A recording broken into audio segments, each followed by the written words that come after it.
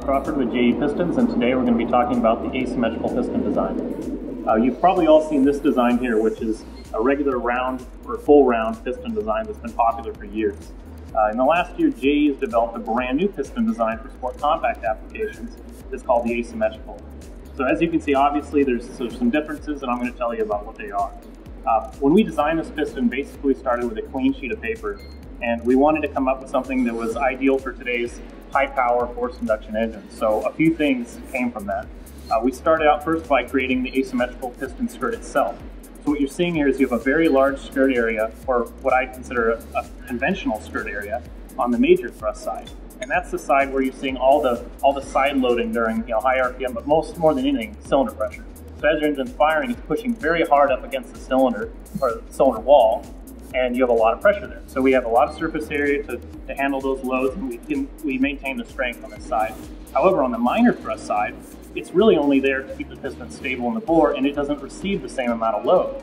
So what we did is we reduced the skirt area, and uh, we do a few things. We save weight, reduce friction, uh, which overall, you know, is a benefit to our customers. So in addition to the asymmetrical skirt design, we also did a few other things. Uh, we have a contoured undercrown that we created. So the actual deck of this piston, here's a cutaway, is thicker in the center and then it gets thinner towards the outside. So for again, for a forced induction application, this is ideal because we have thickness where we need it, but then again, we can save weight in areas that we don't. So overall, again, a lighter part without sacrificing strength.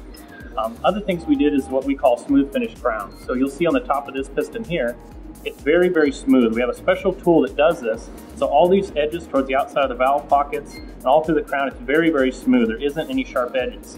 Um, this is included on our entire asymmetrical piston line at no charge. Uh, it just comes that way right out from the factory.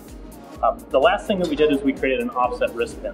So you may look at this piston and think that you know the balance is out of whack. You may think that it's very heavy on one side and thin, and because it's thin on the other side, it's very light. But that's not the case.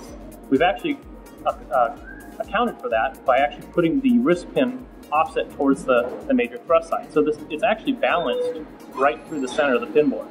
So we do that about 20 thousandths, and the mass center is almost dead center down the wrist pin axis.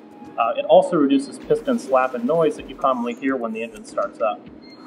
Overall, we have these available for about almost every four-cylinder application you think of, everything from the Honda B series, Honda K series, Mitsubishi 4G63, Toyota 2JZ, and many more, but you can check out the link below if you want to see all these applications on our website.